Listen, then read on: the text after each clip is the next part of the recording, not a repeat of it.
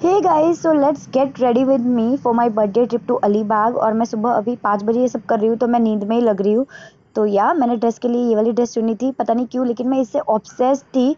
तो ये वाली मैंने पहन ली। उसके बाद आजकल काफ़ी ट्रेंड में चल रही है वो अमेज़ोन वाली फ्लीज़ लेगिंग्स जो कि वार्म होती है अंदर से, लेकिन मेरे पास वो नहीं थी और एंड टाइम पे मैं मंगवा भी नहीं सकती तो मैंने ये जुगाड़ लगाया। मैंने ली ये नॉर्मल लेगी जो कि स्किन कलर की है उसके ऊपर मैंने ये वाला पहन लिया, और उसके बाद लग रहा है ना एग्जैक्ट सेम तो या, मैंने ये जुगाड़ कर लिया, उसके बाद मैंने पहन लिए बूट्स और मैं पूरी तरीके से रेडी हो गई। बाकी का आपको बता नहीं पाई बिकॉज़ मैंने जैसे बताया, मैं पाँच बजे ये सब कर रही हूँ और मैं बहुत नींद में थी।